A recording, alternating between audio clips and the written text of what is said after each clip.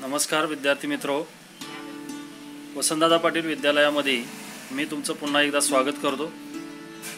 आपण याच्या अगोदर मॅथ्स पार्ट सेकंडचे पहिल्या चॅप्टरमधले दोन पार्ट आपण पाहिलेले आहेत. या हा तिसरा भाग आपण आज घेऊन येत आहोत. Chapter number one basic concepts in geometry याच्यामधला तिसरा पार्ट आपण बघतोय. याच्यामध्ये आपल्याला पहिला जो भाग आहे तो आपल्याला कंडिशनल स्टेटमेंट हा भाग बघायचा आहे. आता कंडिशनल स्टेटमेंट म्हणजे काय तुम्हाला माहिती आहे? जर तरच्या भाषेत एखादं वाक्य जर आपल्याला मांडायचं असेल याला कंडिशनल स्टेटमेंट असं म्हणतात.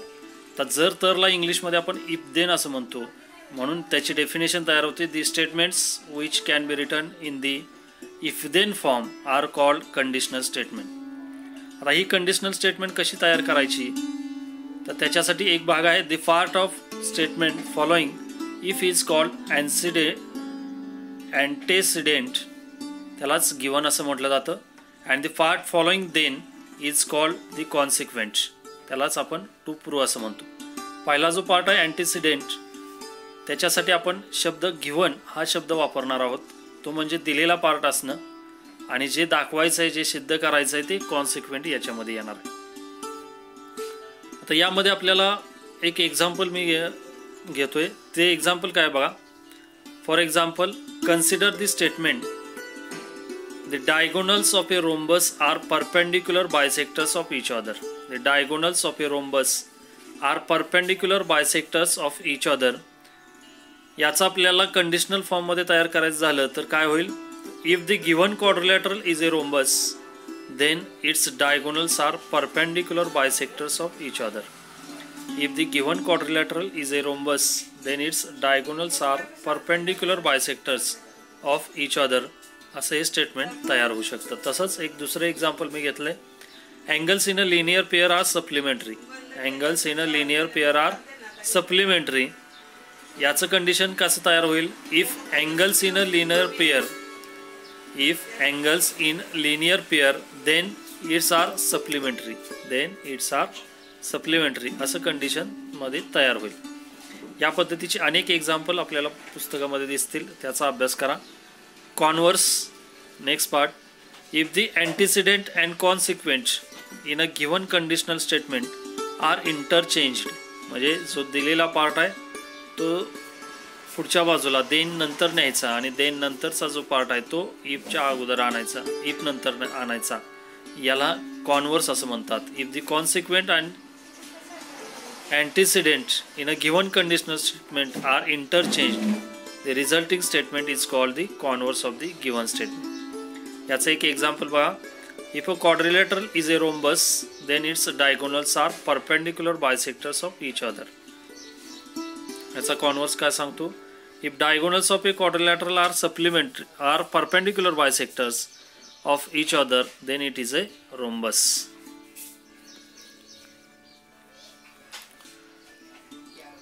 in the above example the statement and con- its converse are also true. But काही वेळेला काय होतं? If a conditional statement is true its converse is not necessary true converse हा सत्य असेल असं नाही. त्याचं एक एक्झाम्पल इथं बघूया. If a number is a prime number then it is even or odd जर एखादा नंबर हा प्राईम नंबर असेल आता प्राईम नंबर म्हणजे काय? तर मूळ संख्या. तर ती इवन किंवा ऑड असतेच असते. बट कॉन्वर्स त्याचा काय होईल? If a number is even or odd then it is a prime number असा असू शकणार नाही.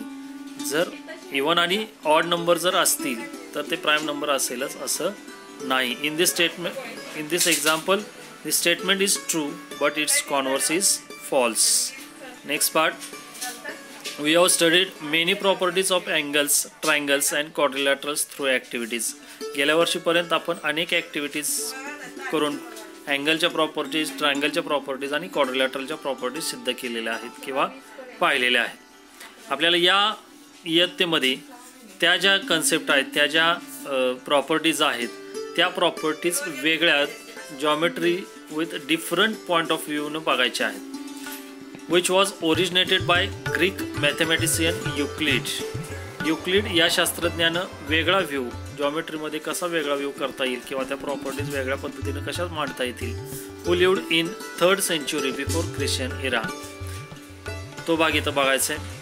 He gathered the knowledge of geometry prevailing at his time and streamlined it.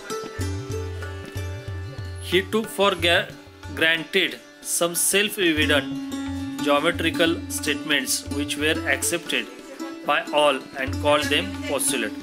काही वेळेला काय केलेलं आहे? ही took for granted some self evident काही जॉमेट्रिकल स्टेटमेंट आहेत ते सत्य आहेतच असं मानलेलं आहे. आणि अशा जे स्टेटमेंट आहेत असे जे प्रॉपर्टीज आहेत अशा प्रॉपर्टीजला पॉस्युलेट असं म्हटलं जातं. तर ह्या पॉस्युलेट कोणकोणत्या आहेत? त्या युक्लिडचे पॉस्युलेट आपल्याला बघायचे आहेत. युक्लिडची पॉस्युलेट पाच पाच आहेत. त्यापैकी पहिलं there are infinite lines passing through a point आता हा पार्क आपण अगदी पाचवी सहावी सातवीच्या दरम्यान पाहिलेला आहे. की एका पॉईंटमधून अनेक लाईन जातात. इन्फानाईट लाईन्स जातात. हे त्यानं सत्यच आहे त्याच्यात बदल नाही हे मांडलेलं आहे. सेकंड पॉस्युलेट काय? आहे there is one and only one line passing through two point एक आणि एकच लाईन दोन पॉईंटमधून जाते हे आपल्याला माहिती आहे. हे सेकंड पॉस्युलेट थर्ड पॉस्युलेट काय? आहे a circle of given radius can be drawn taking any point as as its centre centre म्हणून एक पॉईंट घेतला जातो. आणि चौथा आहे all right angles are congruent with each other सगळे अँगल जे आहेत राईट अँगल हे समान मापाचे असतात. पाचवं if two interior angles form on one side of a transversal of two lines add up to less than two right angles then the lines produced in that direction intersect each other. असे ही पॉच postulate आहेत. एवढं काय त्याला हे नाही आहे next part Euclid showed that on the basis of the postulates some more properties can be proved logically.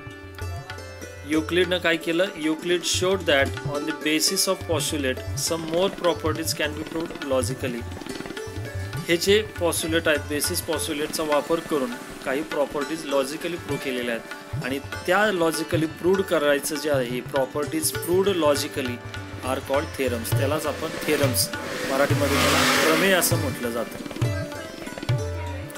A properties suppose suppose to be true if it can be proved logically it is then called a theorem the logical argument made to prove a theorem is call its proof म्हणजे थेरमचं जो आहे म्हणजे theorem कशाला म्हटलं आहे properties proved logically are called theorem तसंच a property is suppose to be true if it can be proved logically it is then called a theorem आणि हे जे थेरम्स आहेत हे प्रूव्ह करण्याची जी मेथड आहे आणि त्यालाच प्रूफ असं म्हटलेलं आहे. There are two types of proofs direct and indirect direct मेथडनं आणि इनडायरेक्ट मेथडनं असे दोन प्रकारे प्रूफ्स आपल्याला मांडता येतात. When we are going to prove When we are going to prove that a conditional statement is true its antecedent is called given part मगाशी मी सांगितलेलं आहे की जो अँटीसिडेंट दिलेला आहे त्याला आपण गिव्हन पार्ट असं म्हणणार आहोत आणि कॉन्सिक्वेंट दिलेला आहे त्याला the part to be proved असं म्हणणार आहे. टू बी प्रूड असं आपण म्हणणार आहे. असाच एक थेरम आपण इथं बघणार आहोत की जो आपल्याला परीक्षेला सुद्धा विचारला जातो. काय थेरम आहे? The opposite angles formed by two intersecting lines are of equal measures. the opposite angles formed by two intersecting lines are of equal measures जर इक्वल मेजर्स अपोजिट अँगल जे आहेत ते एकमेकांना इंटरसेक्ट करतात दोन लाईननं इंटरसेक्ट करतायत आणि ते जे अँगल्स आहेत अपोजिट अँगल्स ते इक्वल मेजर्स असतात. त्याचं कंडिशनल स्टेटमेंट तयार केले. If the opposite angles found by two intersecting lines then they are of equal measures आता असे जे थेरम्स आहेत हे प्रूव्ह करण्याच्या काही मेथड्स आहेत म्हणण्यापेक्षा पाच पार्ट आहेत या प्रूव्ह करण्याचे. त्याच्यातले पहिला पार्ट आहे तो फिगर दुसरा पार्ट आहे तो घिवन तिसरा पार्ट आहे. तो कन्स्ट्रक्शन चौथा पार्ट आहे. टू प्रूफ आणि पाचवा पार्ट आहे प्रूफ असे पाच पार्ट याच्यामध्ये येतात. त्याच्यापैकी सहावा एक पार्ट खरं तर असतो तो म्हणजे पहिला स्टेटमेंट दुसरा फिगर तिसरा गिवन चौथं टू प्रूफ पाचवा कन्स्ट्रक्शन आणि लास्ट प्रूफ असे सहा पार्ट आहेत. त्याच्यातलं पहिला पार्ट मी दिला आहे स्टेटमेंट सेकंड पार्ट आहे तो फिगर आहे. तो फिगर मी दिलेला आहे. ए बी हा एक लाईन आहे आणि सी डी ही दुसरी लाईन आहे. ते दोन्ही लाईन ओ या पॉईंटमध्ये काय करतायत? इंटरसेट करतायत. अशी ही फिगर आहे. यामध्ये काय सांगितलं जातंय? की जे फिगरमध्ये दिसतंय ते गिव्हनमध्ये लिहायचं. जे फिगरमध्ये दिसतंय ते गिव्हनमध्ये लिहायचं. Line A B and line C D intersect at point O line A B आणि line C D intersect at point O. पण ते कसे आहेत? Such that A dash O dash B. म्हणजे ओ हा पॉईंट ए बीच्या between आहे हे आपल्याला लिहावं लागेल. आणि तसंच ओ हा पॉईंट सी आणि डीच्या सुद्धा बिटवीन आहे हे सुद्धा लिहावं लागेल. इथं कन्स्ट्रक्शन नाही आहे डायरेक्ट टू प्रूव्ह काय प्रूव्ह करायचं आपल्याला? तर देनच्या पुढचा भाग. काय दिलेला आहे देनच्या पुढं? They are of equal measures they म्हणजे काय अपोजिट अँगल्स आता अपोजिट अँगल्स कोणकोणते आहेत? लगेच तुम्हाला आठवतील. ए ओ सी ए ओ सीला अपोजिट अँगल आहे. अँगल बी ओ डी मग इथं टू प्रूमध्ये पहिल्या पार्टमध्ये दिलेलं आहे बघा. Angle A O C is equal to angle B O D कारण इक्वल मेजर्स आपल्याला दाखवायच्या दोन इथं आपल्याला जोड्या मिळणार आहेत अपोजिट अँगलच्या दुसरी जोड्या आहे angle B O C is equal to angle A O D proof काय सांगते बघा?